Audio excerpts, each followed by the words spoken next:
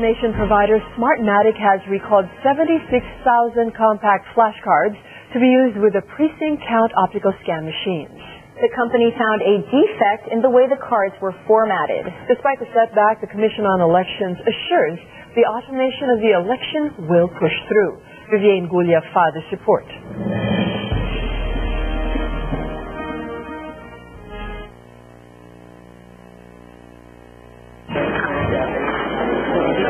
The testing and sealing of election machines are now on a halt.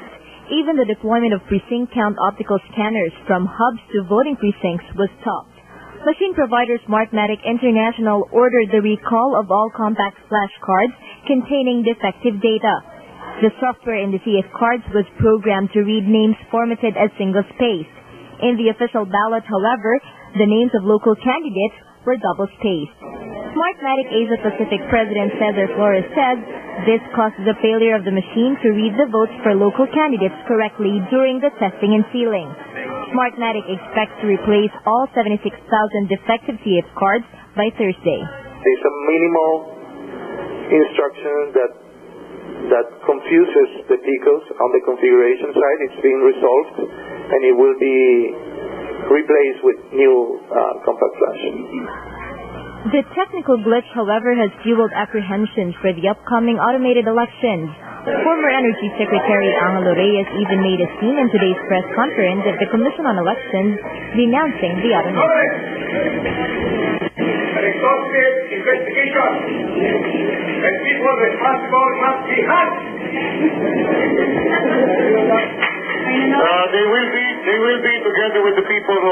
Responsible for the power outages. I will not be honest if I will say that my my confidence no has not been uh, diminished no.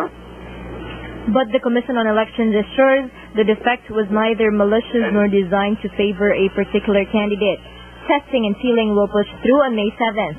Should they encounter another problem, Comelec says they have contingencies. First, you know, we are optimistic that there will be no failure of the elections. We have discussed this in the Commission en banc uh, this morning. Now, in the event that uh, untoward scenarios would happen, we have backup plans.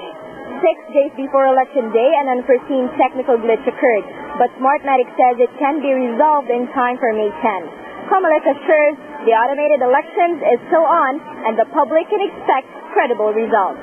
Guria, RPN News. Various groups have called on the Commission on Elections to act on the reported failure of several PCOS machines in their tests. They say the Comelec must ensure that these errors would not affect the outcome of the elections. Del de Vera Fada's report. The Makati Business Club calls on the Commission on Elections again to prepare for a 100% manual count following the glitches in the use of precinct count optical scan machines. Ang daming kamalian at this late point, no? Dapat 100% na sila.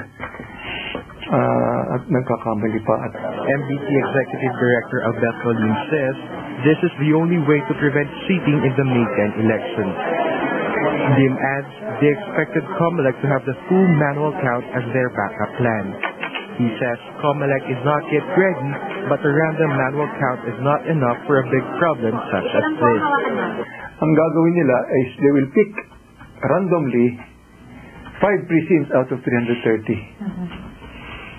Eh baka naman itong five eh, walang nangyari doon. Pero sa dami ng uh, precincts, baka may nangyari sa iba.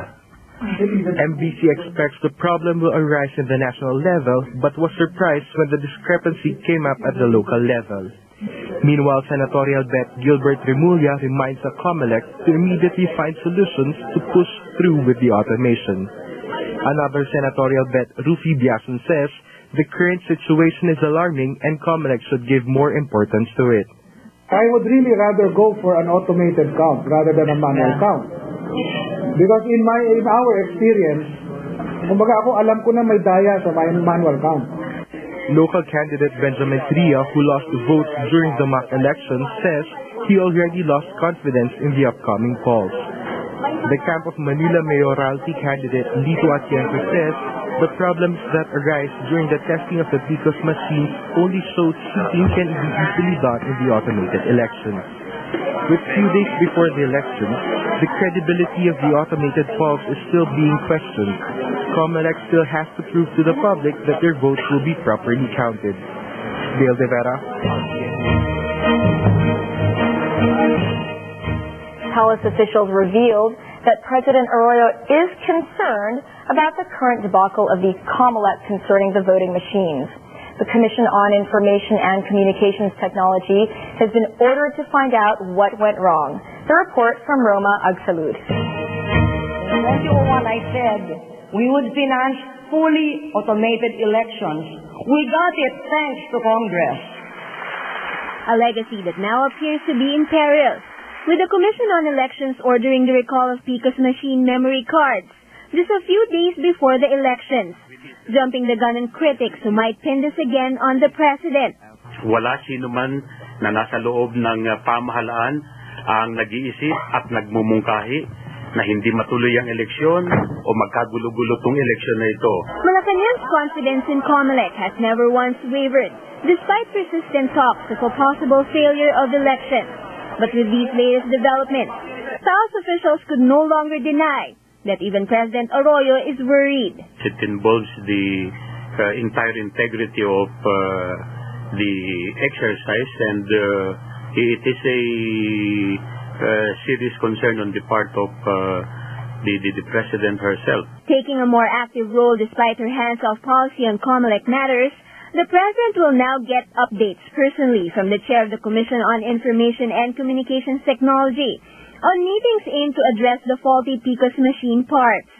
CICT Chair Ray Chua is part of COMELEC's Advisory Council. I will uh, assure each and everyone that uh, the President is continuously monitoring and trying to find out uh, what uh, really happened. But while the President may be concerned to the point she's now willing to play a more active role, Malacanang reiterates its confidence in COMELEC remains intact.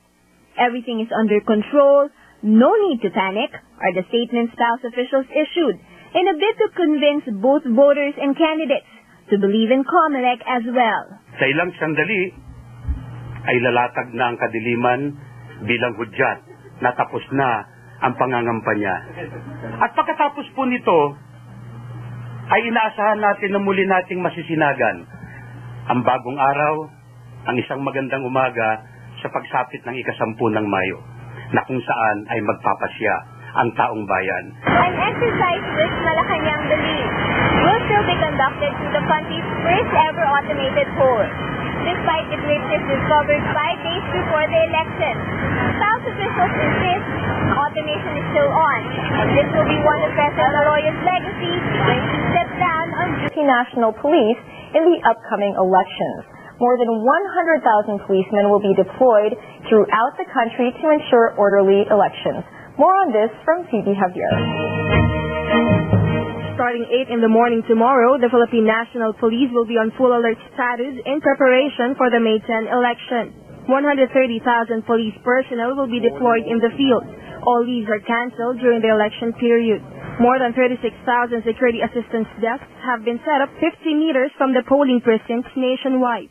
PNP says cell sites are also well secured. A total of 571 areas with intense political rivalry and insurgency are in the election watch list. This is about one-third of the total number of cities, towns, and provinces throughout the country. It is also all systems go for the PNP this coming election, as their control center is now in full swing in terms of monitoring, assistance, and gathering real-time feedback. The PNP appeals to candidates to avoid getting involved in any election-related violence. Huwag naman sanang mag-aalitan to the extent na magkakaroon ng mga violent incidents. All be civil. Anyway, the, the will of the people will be the ones to dictate who will win. No? Hindi naman madadaan sa awayan at violence. No? I think our people deserve more than just uh, more than uh, just that. No? Hindi, hindi naman papatol ang ating mga tao sa mga violence. Phoebe Javier, RPN News. So in The spokesman of the Commission on Elections joins us now to clarify what happened to the PCOS machines and the remedies COMELEC will do.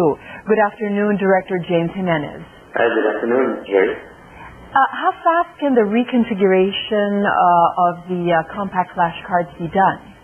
Well, we're looking at uh, a timetable of about two to three days. In fact,